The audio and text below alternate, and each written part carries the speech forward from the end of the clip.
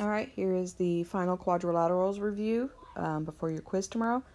I'm sorry the first uh, video had no sound. I don't know what happened. All right. Okay, so let's talk about the properties of a parallelogram.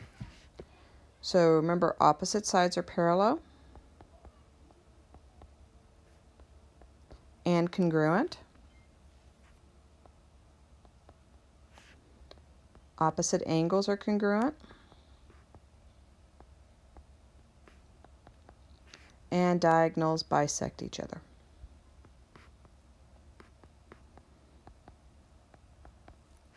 Okay, so let's start with our angles. Um, the angles are probably the harder ones to do with, par with parallelograms. So AED is 101, and that's this angle right there. ADC, ADC, that's the big angle, and that's 63. ABE is 42, so that's this little one here. Actually, hold on a second right there. 62 didn't show up, or 63, I'm sorry. Okay, so one thing we already have here is that opposite angles are congruent, which means this other angle over here is also 63. All right. And then ABE is 42. So if this portion of it is 42, to get the other side, we're going to subtract 63 from 42, and that gives me 21. All right. So because opposite sides are parallel, we also have alternate interior angles. So if this angle down here is 21, that means the one up here is also 21. And the one on the other side is 42. Okay. Now what we're going to use to find all the rest of the angles is triangle sum or supplementary angles. All right. So if we look at this triangle right here, I have 101 and 21. If I take, uh, add those together subtract it from 180, I'm pull out my calculator. So 180 minus 101 minus 21 gives me 58. Okay. So that's the remaining angle for that triangle, and that one's going to be 58. Okay.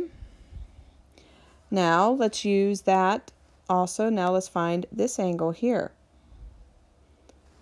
And so we're going to, that forms a straight line, so there are, they are supplementary. So I'm going to subtract it from 180, and that gives me 79.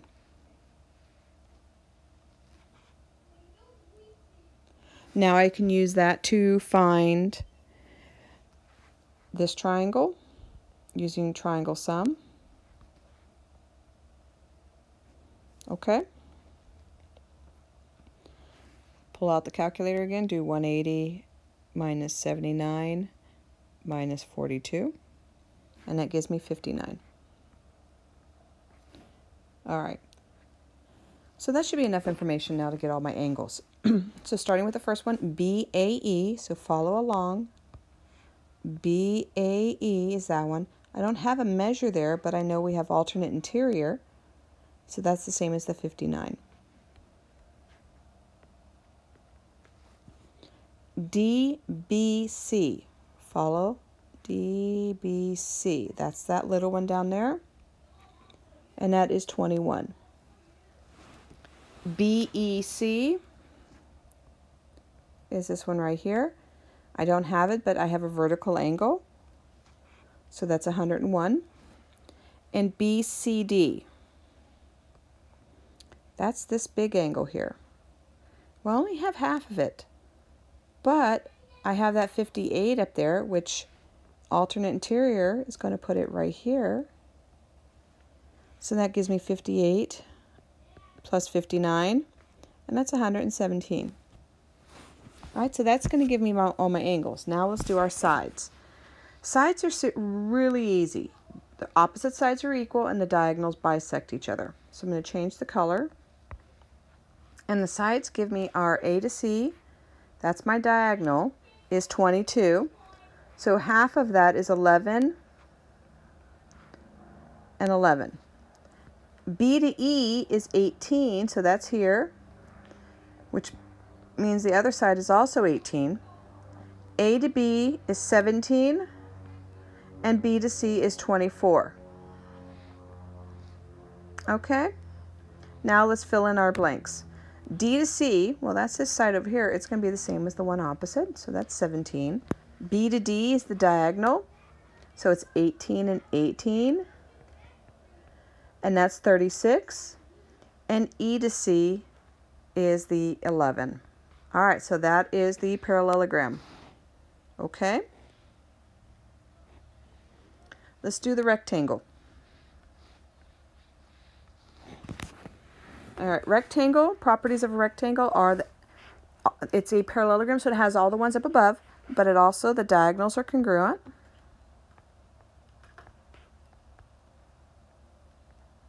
And it has four right angles.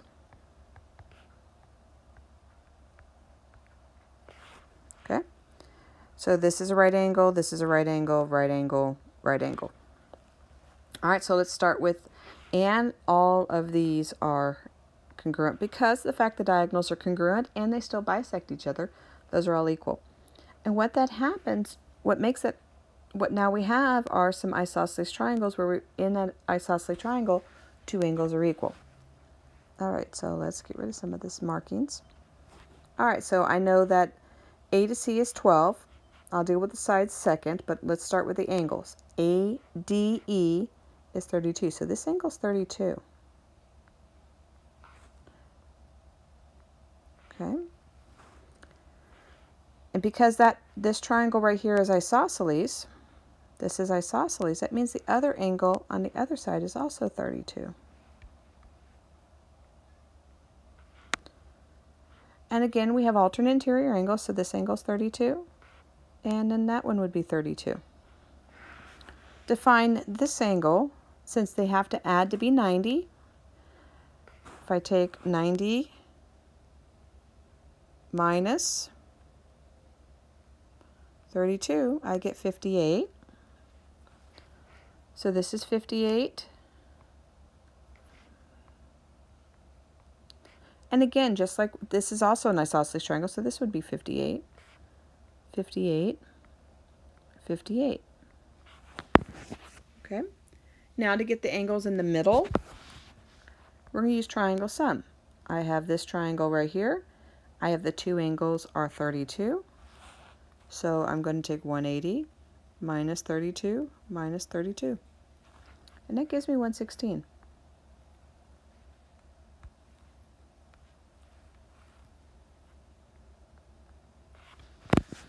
To get the other angle right here, I'm going to take 180 minus 116. and that's 64. All right, now I have enough to find all my angles. So angle DCB. DCB, well that's the big one. So, and I know that it's going to be 90. AED is 116. DAE DAE that one's 32. BEA. BEA. Don't have it there, but I know I see I, I see I have the vertical. And that would make it 64. DEC is 64. And EAB is 58.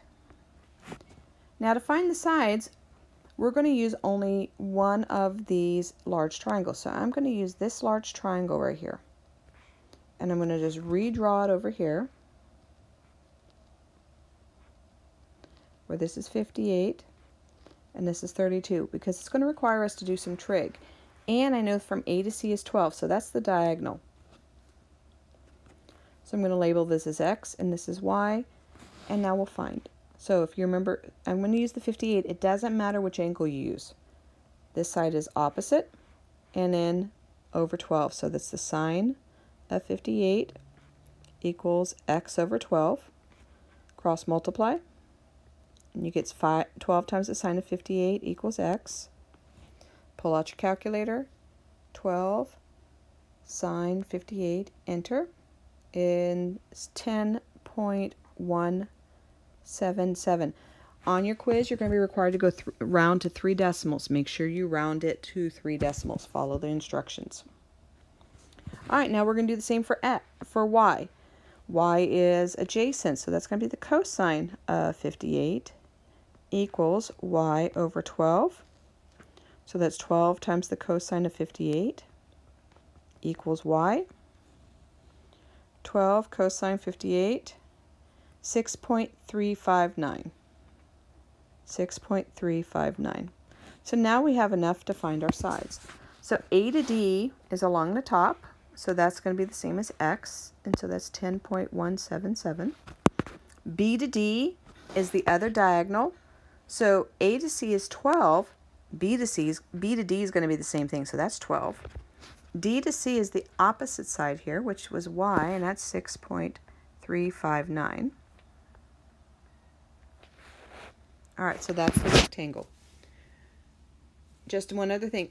All of the, the quiz, every one of them is going to be a fill in the blank. So you are going to have to type in the answers. And if you type them in correctly, you should get, you'll find your score out really fast. Um, I will still go through and look at the wrong answers to see if you might have rounded inconsistently. And then I could, you possibly can earn back some points. All right, now let's go to the rhombus. Rhombus. Pro properties of a rhombus are all four sides are congruent.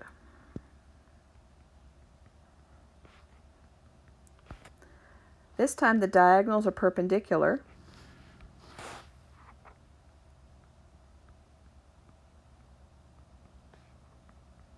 That means that this is a 90 degree angle, 90 degree angle, 90 degree angle, 90 degree angle.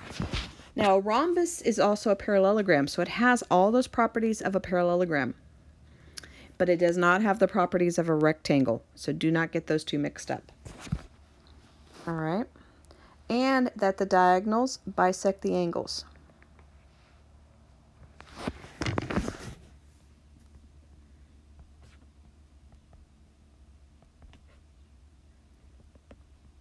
Okay, so it's splitting the angles in half.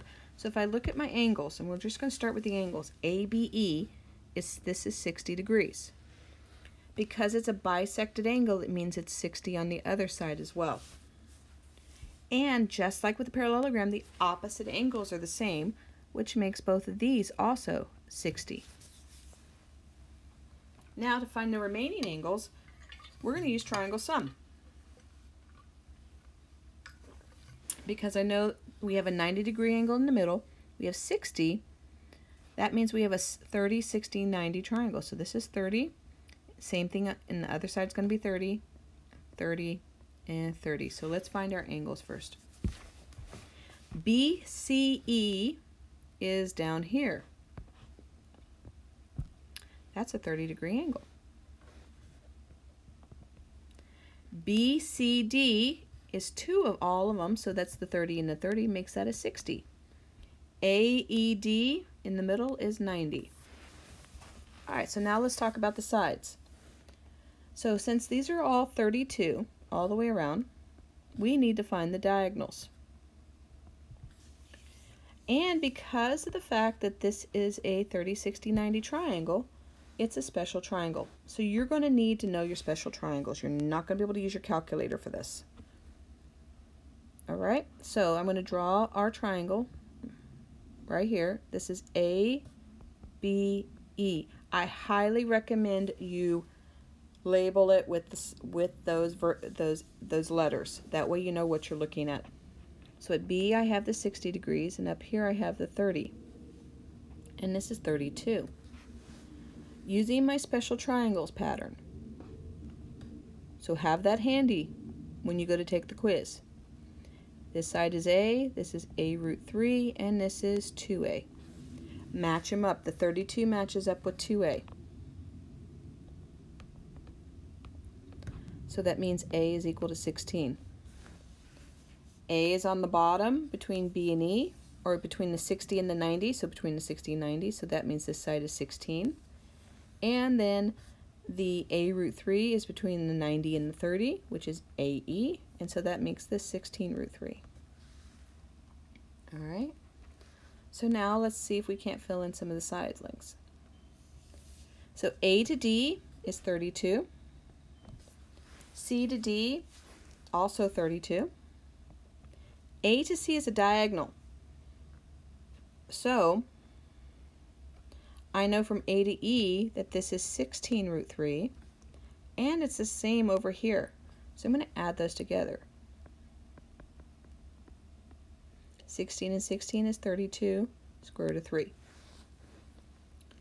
All right, now I have B to E. B to E is the 16 we had. B to D is going to be all the way across, so it's going to be 16 and 16, or 32. All right, so that's a rhombus. Now, square. Square is the easy one. Square is a parallelogram, it is a rectangle, and it is a rhombus, so it has all the ones up above. And that actually makes it the easiest thing. It means all these angles are 40 are 90, 90, 90, and 90. Because it is a rhombus, it means they're bisected, so this is 45 and 45, the same across the other side. And over here as well.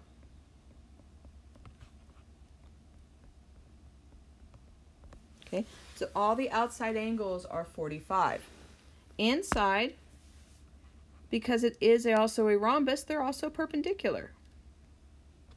Okay, so they're all 90 degrees. So let's figure our angles out. So ABE, or excuse me, BAE is 45. AEB, because it's in the middle, is 90. So that's it for the angles. Now, for the sides, because I know A to B is 6, I am just going, and I know this side is 6, this side is 6, all four sides are 6. I am actually going to just use half of this square, just like I used with the rectangle, and I'm going to use that to help me find the missing side length. Okay, so ABE, or ABC is here. This is 6, this is 6, we're looking for this side? Well, because it's also a 45, 45, 90, because remember these were 45. Take my pattern for 45, 45, 90. That's A, A, A root 2. Match them up. Well, between the two 45s, that's the A and the C. That's the side that's missing. That matches up to A root 2. A is going to be 6, so that makes that 6 root 2. So the full diagonal is 6 root 2. Okay, so now, and that's the same with the other diagonal. Let's fill in our blanks. B to C, we have a 6. D to C is also 6. D to B, that's a diagonal. Well, that's the same as this one. So that's 6 root 2. D to E is half of that. So 6 root 2 divided by 2. We're going to just divide those by 2, and that gives me 3 root 2. All right, that is everything for quadrilaterals. This will be the last video that I do, so you'll just have to keep rewatching this and practicing. There's there are several worksheet sheets in the chapter four, four no, excuse me, chapter seven folder, also in the school closings folder under essential skills in quadrilaterals. All right. If you have any questions, talk to me about it.